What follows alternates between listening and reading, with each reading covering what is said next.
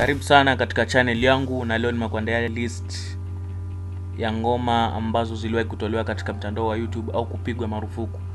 Basi bila kupoteza wakati, tuanze. Nambari tano ni ngoma ya Zuchu akimshirikisha Diamond Platinum, ngoma inayoitwa Cheche. Ngoma hii nyimbo hii ilitolewa katika mtandao wa YouTube siku tatu tu baada ya kuwekwa. Sababu iliyofanya ngoma hii kutolewa ni copyright.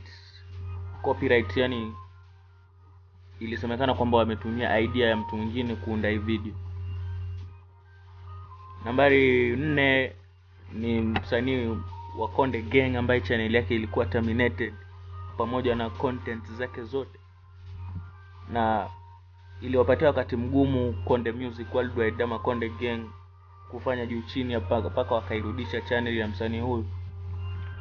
Jitihada zao basi zilifanikiwa kwa sababu channel iliweza kurudi katika mtandao wa YouTube, na mpaka sasa tunapoongea ngoma zake zote zinapatikana hapa hapa kwenye mtandao wa YouTube.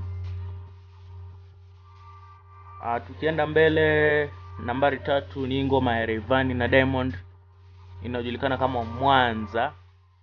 Ngoma hii ilipigwa marufuku kabisa, hii pigwa marufuku kwa sababu ya matumizi ya lugha chafu kama wanavyosema. Ukisikiza mwenyewe utajua tu yale maneno ambayo yanasemwa pale. Basi ikapigwa marufuku nchini Tanzania, na ikawa kuisikiliza ngoma hii ilikuwa ni hatia kabisa kwa sababu ya lugha chafu zinazotumika kwenye wimbo huu. Na ngoma hii haikutolewa kwenye mtandao wa YouTube, lakini bado inapatikana.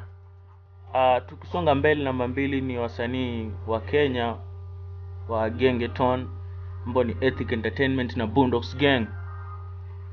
Ngoma yao ya Tao iliweza kutolewa katika mtandao wa YouTube siku chache tu baada ya kuwekwa, na hii ilisababishwa na matatizo yaliyokuwepo baina yao na Moral Cop Ezekiel Mutua kwa sababu ya content ambazo wanatoa. Ukiona kabisa vile unavyoona pale, wanasema kuwa inaharibu jamii, vitu kama hivyo, ikasababishia ngoma yao kutolewa. Na hii si haiko ya kwanza pia kwa Ethic kutolewa. Kuna nyingi sana zao ziliweza kutolewa katika mtandao wa YouTube, lakini bado wameng'ang'ana kuwepo katika industry ya muziki. Na tukimalizia, tunamalizia na ngoma latest kabisa ya Meja, tabia za Kanairo, tabia za Wakenya ama ukipenda unaweza ukaita Kanairo. Hii nayo iliweza kutolewa kwa sababu ya copyright. Wenyewe wanasema ilipigwa copyright strike na upcoming artist, na mpaka sasa tunavyoongea, Meja hajafanikiwa kabisa kuirudisha katika mtandao wa YouTube, bado haijaweza kurudi.